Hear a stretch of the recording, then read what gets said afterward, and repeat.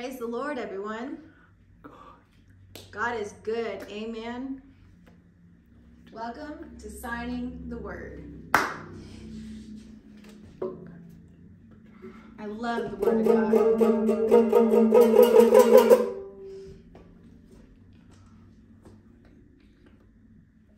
All right, so today's title is Fight on Your Knees.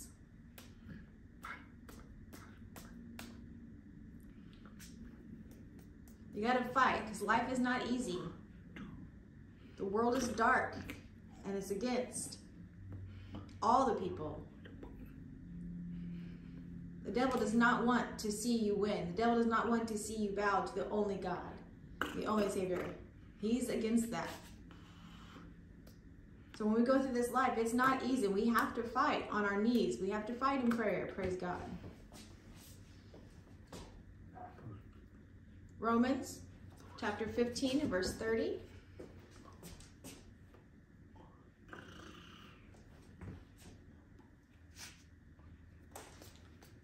And Paul is writing here. And when we look at the life of Paul, we realize it's not struggle. He or not easy. He went through a lot of struggles. But he had patience.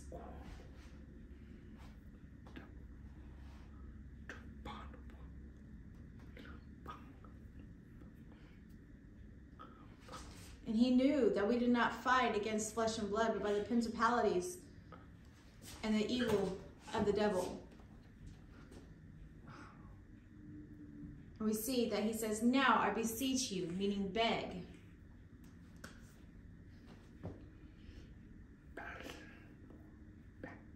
So again, beseech means to beg. It says, Now I beseech you, brethren, for the Lord Jesus Christ's sake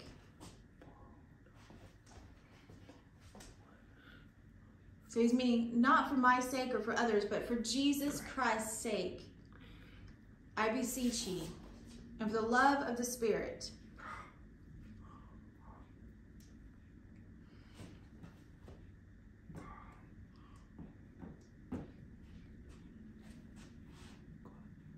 There's only one God, only one Spirit that is full of love.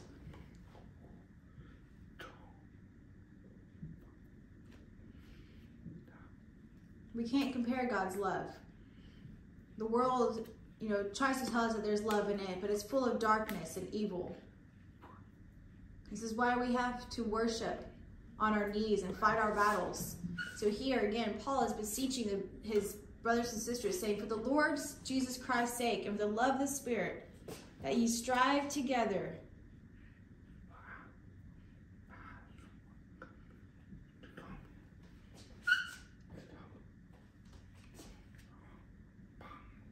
We are the body of Christ. We are family. There's one mind and one accord. We are the children of God.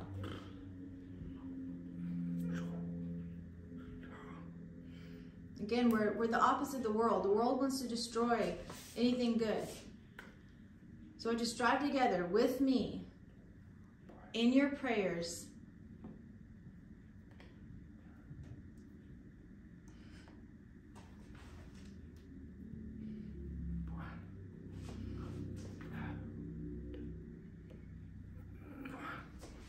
again, we're talking about here praying on your knees, and you could be lying or standing, that's as well, that could happen as well. But the important part is in prayer to God for me. Same as today. I need your prayers and you need my prayers. We're in one accord. And together we're stronger than we can't be divided. The devil wants to cause division. And we can see that in our world today that they're against each other.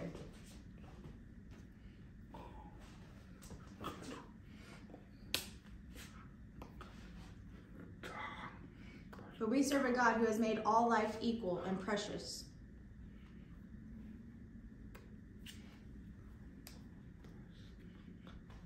And just the same as, as Paul went through trials and, and Jesus had trials as well, they supported each other and we support each other nowadays.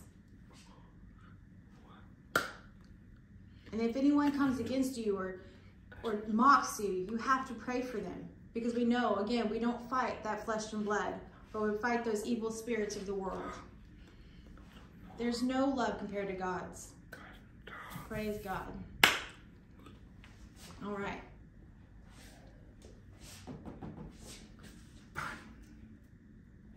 It says, fight all your battles on your knees.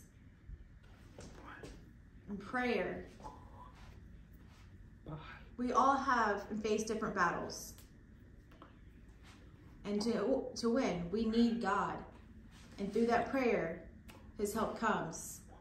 And that helps us overcome the spirits of the world that are against us.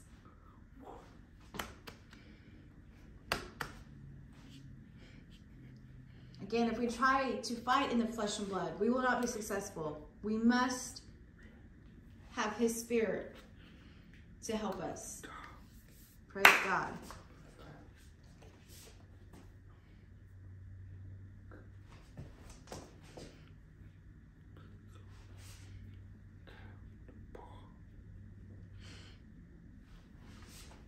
So again, when we pray, God sends his angels to protect us against the evils of the world.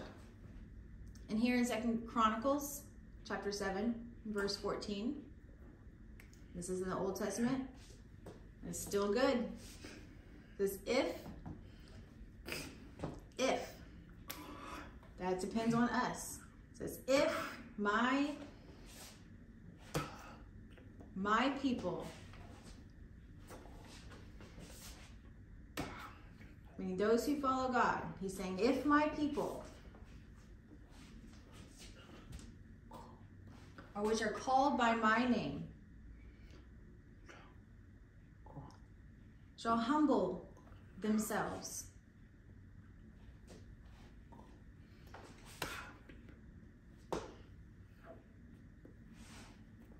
So again, we see that the dark world refuses to humble. They resist. They have pride. They don't want to be humble. They miss out on that mercy and that love. But when we follow God, we, we learn how to be humble. So he says, shall humble themselves.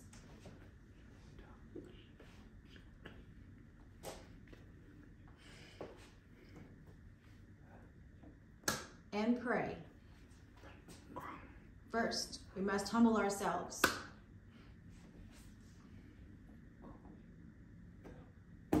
Then we pray. In order to pray and have true prayer, you must humble yourself first and seek my face. If you have that pride in your life and refuse to search the way of God, then you're not going to have that true prayer. So humble themselves and pray and seek my face and turn from their wicked ways.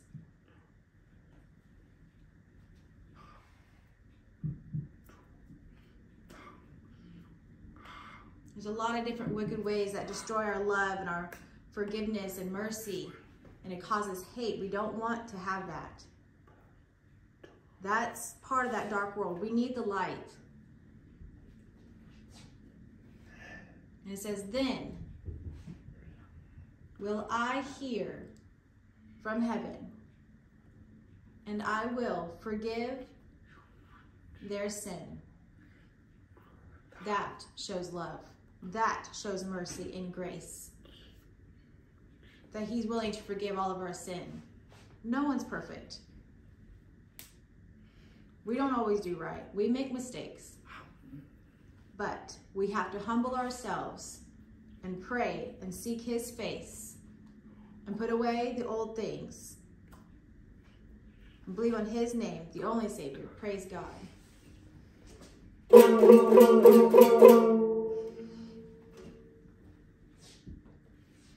it says, and I will heal their land. He will bless your finances. He will bless your health. He will bless your home, bless your family. And the list goes on. If you obey and follow, you'll be successful. Praise God.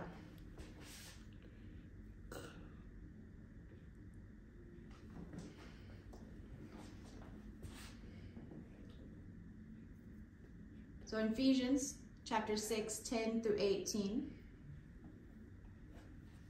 it talks about the whole armor of God. And that's important to have the whole armor of God.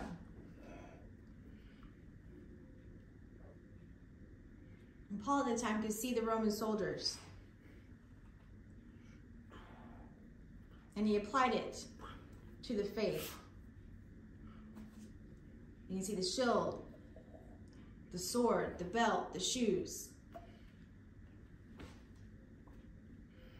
And you can't miss any of it.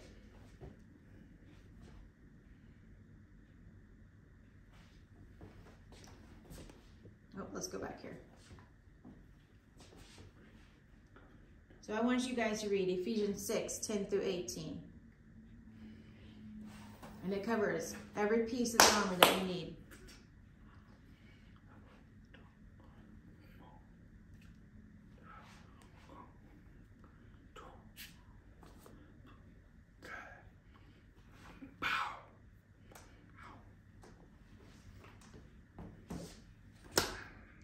So even the world has their own armor. But how are we more powerful? With prayer. It says praying always, meaning all the time. Not part of the time,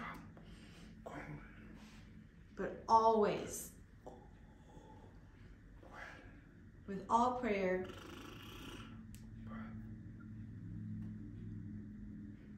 and supplication in the Spirit.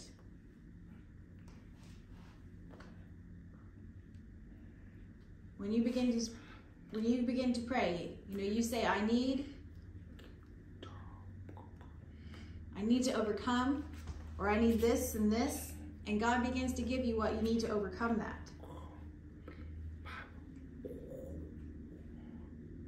With God, we have the power to overcome the world. And victory will happen. Praise God. And it says, and watching thereunto with all perseverance.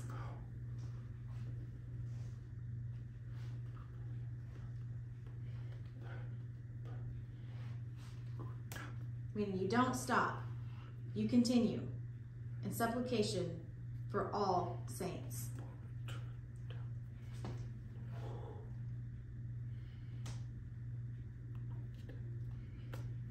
Meaning in that battle, you see the two armies, and there's one that never gives up.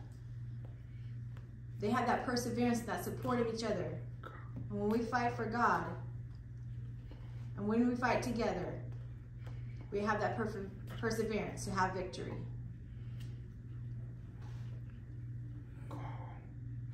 We must have that unity, praise God. And that's my favorite word right there, all. You can see in the in my past vlogs, I always emphasize the word all. All the world, all life is precious and made by him. Praise God.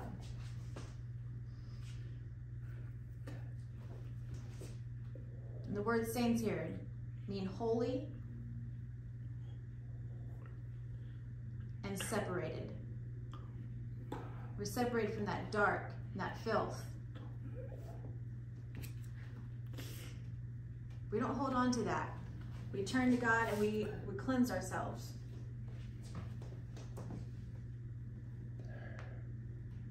He is there. He is good and He is enough. When we begin to pray, He's there. Anytime. We know that the world is not good, but we have to go through those battles. We, might, we battle in our minds, but we have to decide for ourselves to follow the good because God is always good and He is enough. The world doesn't provide and doesn't satisfy. It's just full of sins and, and filth, and that will never satisfy. It's, it's just a temporary satisfaction for the flesh but we are strong and satisfied in the spirit. God bless you.